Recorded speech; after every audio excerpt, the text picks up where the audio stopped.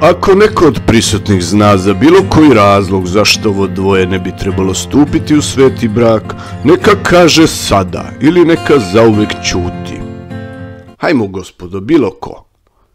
Evo jednog koji definitivno ima nešto protiv. Ova slika je bila čin osvete, ali o tome nešto kasnije. Slika pred nama se zove Neravnopravni brak i radi je ruskog majstora Vasilija Pukireva. I kao što naslov sugeriše, to nije neko sasvim obično venčanje. U polumračnoj prostoriji vidimo mladu. Do nje dolazi svetlost od ozgo i otkriva nam njenu mladost i nevinost. Venac od sveća krasi njenu glavu, veo lagano padan iz leđa, njen nakid svetluca. Izgleda kao da je sve spremno i na svom mestu za venčanje osim same neveste. Njeno telo je nagnuto napred, ona jedva drži sveću u ruci. Crvenilo oko očiju odaje utisak da ona guši suze i ukazuje na to koliko je plakala, sve do ovog trenutka. Na licu su joj beznađe i očaj. Ovo je pre lice nekoga koje je na sahrani, nego na sobstvenom venčanju. Ona nerado pruža šaku prema pogrbljenom svešteniku, dok on pokušava da stavi prsten na njenu malu ruku. Ona izgleda odsutno, ali kao da se na kraju pomirila sa svojom sudbinom koju jasno je ne bi izabrala za sebe, da je mogla da bira. Do poslednjeg trenutka devojka se verovatno nadala nečemu što bi sprečilo ovaj ugovoreni brak sa mnogo starijim čovekom. Mladoženja baca radoznali pogled prema svojoj mladoj kako bi video njenu reakciju.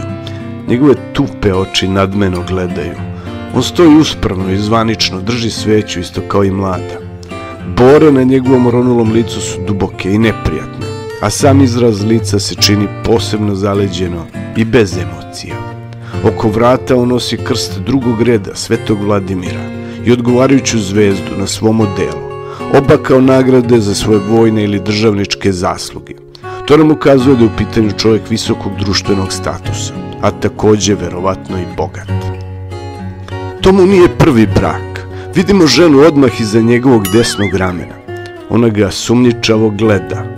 S obzirom na venac i veo u njenoj kosi možemo sa sigurnošću pretpostaviti da je to bila njegova bivša supruga.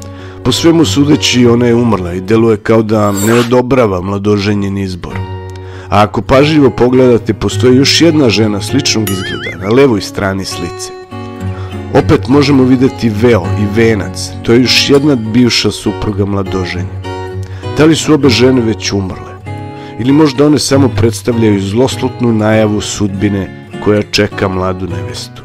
Šta će se dešavati u budućnosti?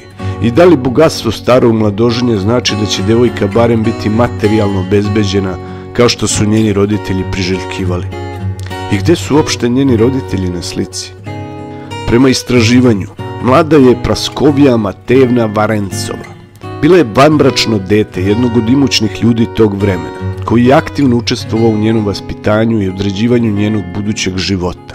Možda je to razlog njenog braka sa starijom, ali i bogatijom osobom. Praskovija je rano postala udovica, ali ne i bogata naslednica. Ostatak svojih dana provela je u Moskovskoj ubožnici, dobrotvornoj ustanovi za ljude koji nisu bili u stanju da se brinu o sebi.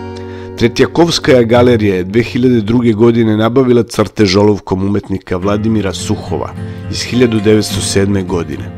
To je najdefinitivniji dokaz. U potpisu stoji Praskovija Matvejna Verencova, od koje je umetnik Pukirev pres 44 godine uradio svoju čuvenu sliku Nejednak brak.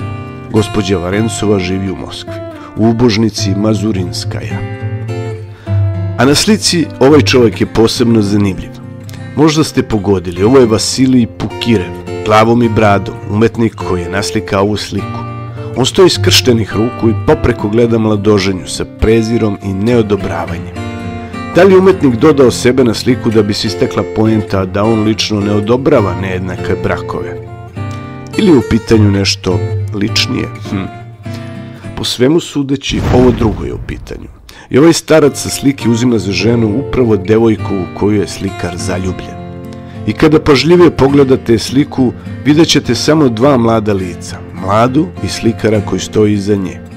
Pukirov nam po svemu sudeći priča svoju životnu priču. Svoje osjećanje on je preneo na platno i ova se slika smatra jednom od najtragičnijih u celoj istoriji ruskog slikarstva.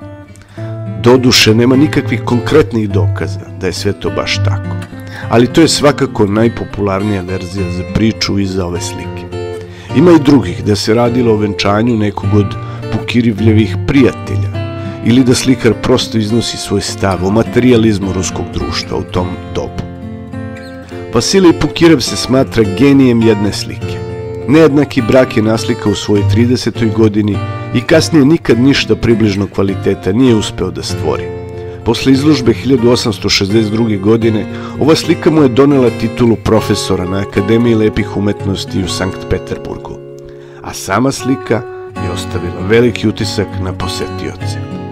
Naročito su starijim generalima bili pokidani živci. Pukirev je rizikovao s ovim delom i dao je snažnu i smelu izjavu o uticaju moći i novcu. Ali ono što je interesantno, javnost je bila više nego spremna da to čuje i razume.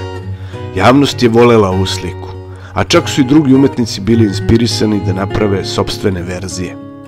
Legenda kaže da se posle ove slike dešavalo da su se mnoge starije mladoženje odlučile da otkažu sobstvena venčanja sa svojim mladim nevestama.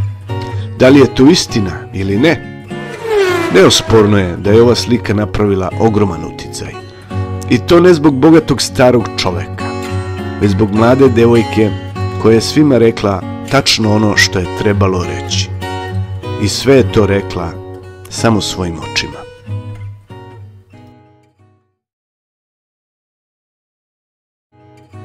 Hvala na gledanju, nadam se da vam je ovaj video bio zanimljiv i od neke vrednosti za vas. Molim vas da ostavite vaše komentare kao i da like, share and subscribe.